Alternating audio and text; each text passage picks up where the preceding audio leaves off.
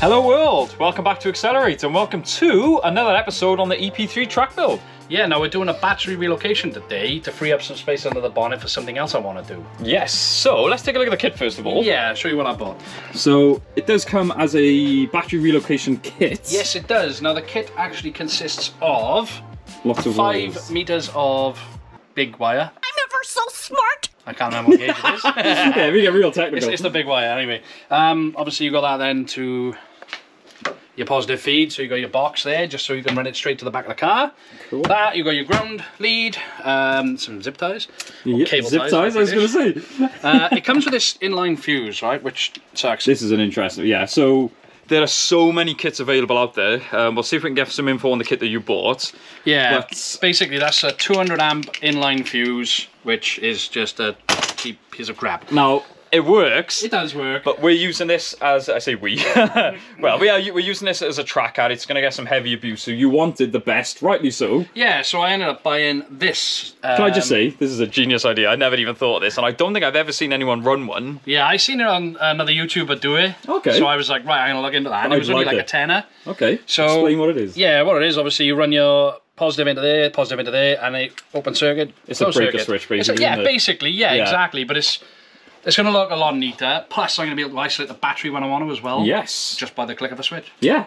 Fantastic. So yeah, the rest of it is um, your fixings, your fittings, shrink Oh, wrap. Oh, right, okay. Yeah. Yeah, they all come with it, and obviously wire protector. Yes, because when you're dealing with we're dealing with some high spec electrics, you want a don't cheap out, and you want all this protection and stuff like that. Yeah, exactly. Now I'm not usually one that messes with electrics because I Same don't like it, but you know it is it's switched on relative- as well. So Relatively straightforward, I would say, for any DIYer. Yeah. It's worth having a go as long as you've got enough amount of common sense.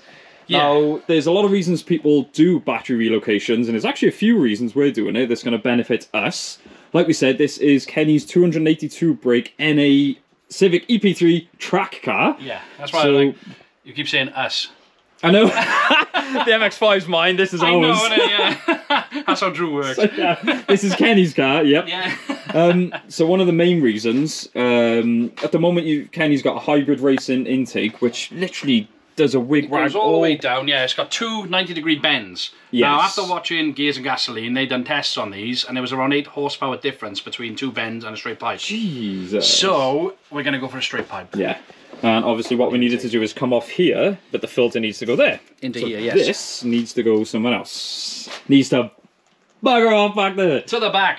So there's also the advantage of weight distribution. Now Yes. you are going to look at getting a smaller battery before anyone says, yeah. but for even now, even for now, I'm just going to use this tray for now because I don't want Yeah. to go changing the tray if I got to change the battery because I don't know what size battery I'm going to go for. Ex- so, yeah, yes, yeah. So for now, it's just going to be moved. Keep okay? it simple because your main thing is the intake, Exactly. and it's just a bonus to have this in the boot. A lot of people do it for weight distribution anyway, Yeah. so very minute, but you got a benefit there as well. Yeah, so let's start stripping this out. Yes, first step is obviously getting it Saying out. bye all the lies and all the times you cried, saying that I wasn't right, yet I was right by your side. You manipulator, playing games, your friends commentators, and I don't know. Now, I don't know if this is going to work or not. What I might have to do is drill these um, riv weld things Yeah. and then just remove this part. Same with this. Mounting it to a flat surface. Yeah. yeah. So, like I said, this is temporary, so I will just Yeah. watch the crap out of it. yeah. So battery tray out, and as we said, the main thing Kenny wants is the intake.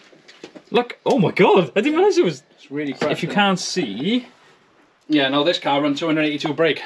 Like that. with yeah, Hmm. I'd be looking at 400 now. yeah, easy.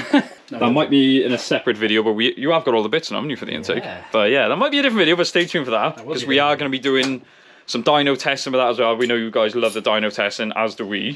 Yeah, now if anybody's got a Tegiwa induction kit they got at hand Ooh, and they yeah. want to lend it to us just for like a few days, we'd like to do a different, um, yeah, basically a couple of different pulls with a Tegiwa kit on. We know what this runs, and then see what a straight pipe would do just Yes. to see if there's any advantage. That's a really good point. That And that way, then everyone knows what's the best. Yes, we can finally put it to bed for it is. So if you have got one, um, there that you wouldn't mind lending us, literally just use some dyno pulls, drop us a message.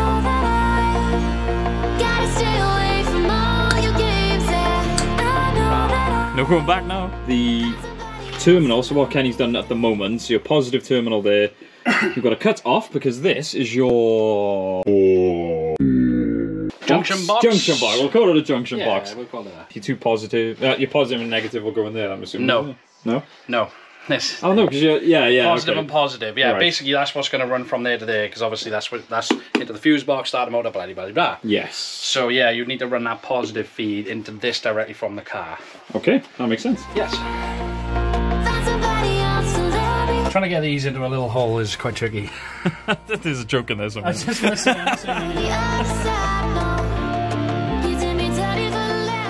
People often wonder what I do while Kenny does the mechanical work, and that's uh, pretty much just just getting in his way and annoying him. I wouldn't advise that. So terminals on, so you've got your two positives there going into the one Yeah. terminal. Uh, obviously, we couldn't get the vice in here, so we had to resort to. It was, I was going to say pliers. It was actually cutters you used. Yeah, they it? cut us, but they're not. They don't actually cut. If that makes sense, check it out. One of my father's tools from 1970 something. See, they don't join. 1700s. And, yeah. Oh, yeah. so yeah. they actually work perfectly. Basically, anything you can apply, you did have to apply a lot of for anything you can yeah, apply well, I don't force know how the hell I've done that.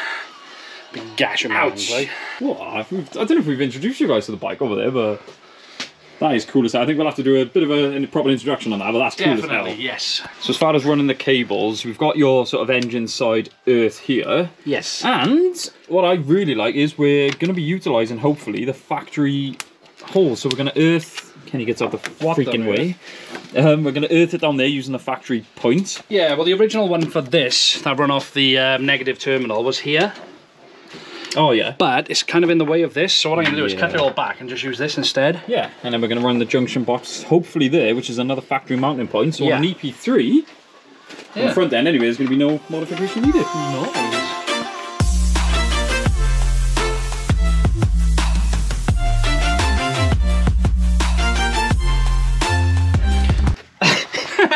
Literally, exact same time. I'm like, oh, I noticed something with it. Yeah, good. I'm like, yeah, he gets into it. I'm See, trying to this work. Is, this is what it's like being a cameraman. You don't know the struggles. Yeah. Anyway, earthing point is on, your negative there. We managed to use the factory hole, which is fantastic. The Yes. next step is routing it. Yeah, now what I'm going to do first, just so we know where we're going from behind the dash, remove this grommet. That's Wallace, isn't it? Oh, no, it's Wallace. Ah, you, a sills. So, so again, for EP3s, there's a lovely factory grommet we can use to keep this nice and clean. Yep. So yeah, now that's out the way, we'll start routing it from the boot to the front. You know, employee of the month. Employee of the month Yeah, so what we're going to do is route it from the back to the front. to the front. can't get off my head. Yeah. Um, yeah, so we can push the car forward now so we can get into the rear, giggity. Giggity, giggity, giggity, giggity. yes. Um, and yeah, basically just start wiring it through. Yeah. Nice. Now the battery's obviously got to go somewhere, so luckily Kenny actually made. oh well done. I have to blank that. uh, luckily Kenny's made that quite easy. I'm not going in my. Yeah, my life is lovely now. I'm focused on me. You said you were about to die. I guess the car is on E. But see, I ain't even tripping. So from a previous video, you guys will know that Kenny stripped out the rear. Yeah, and, um, I stripped out as much as I could, and I've actually gone a bit further this time and stripped Yeah. out even more. Yes, and when I say stripped, I mean literally. He's cut off the tabs at one on the side. Basically, you go into the extra anything you can strip out of this car. Because if you haven't seen previous videos, Kenny's got a bit obsessed now with weight reduction. Not complaining. Yeah, exactly. I could probably do with a little bit myself. yeah, that's the main But- problem right there. Oh no. um, yeah. So anyway, after I when the camera was off, he's I was going to say, yeah, I, I'm going to No. pay for that. Now there was also brackets. Um, I'll show you in a sec. I've taken off here, which was uh, rear seat support. I've removed those as well. These were seatbelt um, holders, basically. Anchors, so- yeah, yeah, so I got yeah. rid of those as well. And you probably notice it's grey. I was literally just going to say, you may, the eagle-eyed among you will notice, he stripped it down to bare metal. no, it's not, it is pink. Yeah, and I um uh, once again I know it's it's not a, tr- a show car, so um I've just rattle canned it and it looks It a looks- lot better than I was expecting. looks fresh. We have got a cage to go in as well, so with that, the Yeah. accents and the harness, it, dude, it's all, it is That's all going coming in together. next month, so Yeah. yeah, that'll be class. I can It finish is. them. Yeah, it's over there. it's I, over I, then I can finish painting the rest of the interior. Yes. So yeah, for now, this is where it's at. Yeah, so the plan is we. Good thing is battery location. Chances are you're doing it on a tracker, so you'll have all the room to work with. There's no real place you need to put it. Just Central, they recommend, obviously, Yes. for weight distribution. So we're Yeah. going to mount it around here. yep. Um, so yeah, let's start planning that. Guess who's going underneath the car to drill it? I'm guessing. Yes, you are.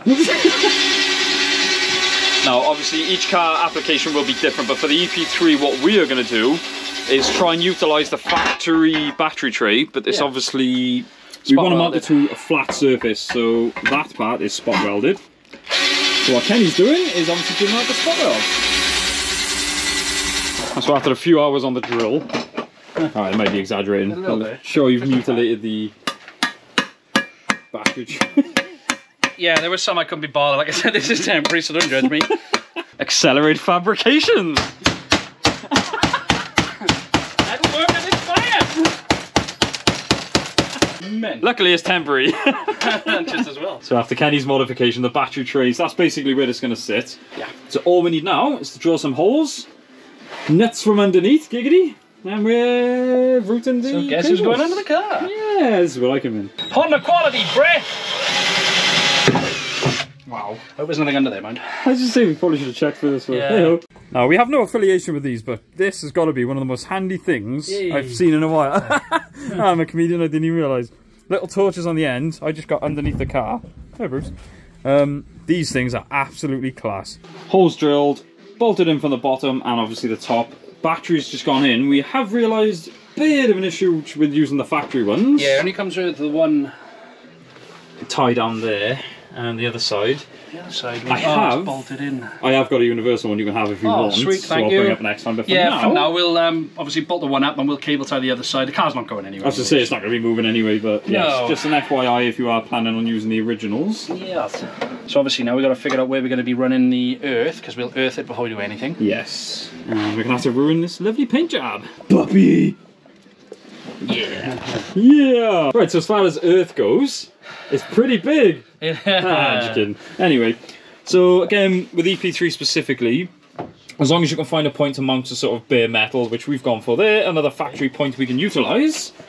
And again, putting the terminal on there. yeah, we're going to go into the vice now and sort it out. Yeah.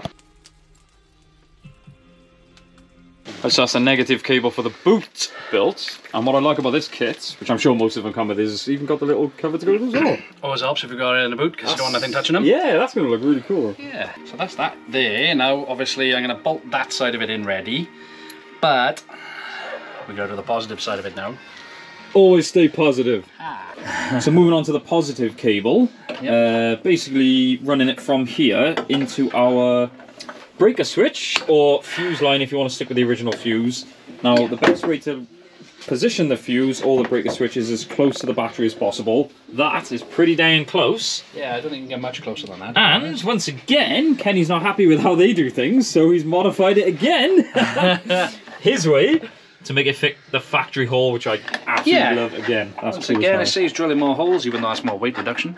Um, but yeah, as I said, nice and easy, nice and simple. Yes, and then, as you can probably guess, it will then go from there. The breaker switch. It's just a case of routing it to the front. Mm-hmm. That's pretty much it. Yeah, yeah, basically, yeah, we just do the same what we're doing here, that end. Yeah, so crimping wise, this is why we're using the vice. That's good advice. And then we will literally just start to crimp that on. Oh, nice. And that Some more top tips. is not going anywhere. That's awesome. That's a very clean, Nice, isn't it? clean crimp as Clean well. crimp. Civic on MX5. No comment. So, am I way full? Positive lead running through there. We have gone with a slightly different grommet because it was a nightmare to get that one there, so it was easier. There's one just on the right with one of the main wiring harnesses. Feeds just underneath there, and there's plenty of length. Oh, sorry, man. Always check your fingers. sorry. No, I'm gutted. Um, all the way back here, back to the, The breaker. future. Oh. Sorry. We're so close. Look at that. Yeah, That's so we're going to bolt this in now, and then we can actually start setting up where the lead's going to run properly. Um, let's say we need to put some protective coat in over the Yeah, certain and we are parts. tidy that up and everything. Yep. So Yeah, yeah, we're getting here it. we go. Here we go.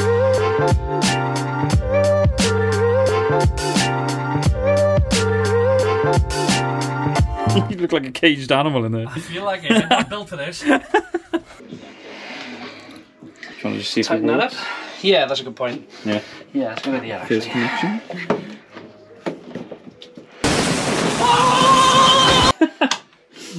I actually was a bit like, hmm. Right, so terminal's not. This should. Yeah, no, I haven't got any interior. This anyway. should. Yeah, yeah, he's got nothing in there to try. Yeah. But this should be the first start. Yeah. right, should well, start it? Ignition start. Ignition's yeah. on.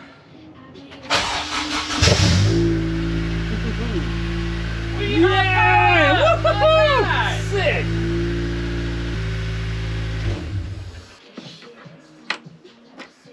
Yeah, go on. Yep, nothing. Yes! That's cool. Awesome! I mean, that's really cool. yes! We wanted to do this for a while. I know, so, innit? Oh, How neat is that as well, though, man? Let's just say, obviously, ignore that for now, the Yeah. clamp. But that, going to the factory hole there, going all the way there. He's even cable tied the little fixings there, following it all the way through. Now, as we said, obviously, if you're running trims in your car, you won't see the wire anyway, but I'm, I'm not, so. Very good point. Yeah. As you can see, stripped all of that, goes all the way under the dash. Out of the bulkheads, into your box there. You can't really see, but in that junction box there, that is class. And we've now got all this room here to work with. As far as battery relocation goes, I think. Yeah, we're just going to That's tie the job all well up done. now, literally, with the ties. Oh yeah, tidy up Um, there, but yeah, that. yeah, but I, I'm really happy with that, man. Yeah. How much better is that? Yeah. Obviously, with the intake there, I'm going to paint that in as well, just Yeah. even if it's black, just to protect it. So that was a good option. Or you could just buy an MX-5 because the battery's already in the boot. Racecar stuff. Yeah, you need a waterproof one. yeah, we won't talk about that. so, for the people who've come just to see the battery relocation, that is it. Thank you so much for watching. We've got so much more coming with the car, so don't forget to subscribe. Uh, I just want to say for our loyal subscribers, uh, just a quick update on the MX-5, the boosted one. It is... Shut up, this is my time. I'm taking over your video. Uh, we've got plans now in January to take it in and get all the metal work done. The reason I haven't done any videos on it or any modifications is because I want to get all the metal work done before we start doing all the fun stuff. Uh, Jag's back on the road. The other MX-5, don't even ask. We'll get to that one day. But uh, for now, I think we'll leave it there. Thank you so much for watching, guys. Don't forget to like, comment, subscribe. I'll see you in the next one.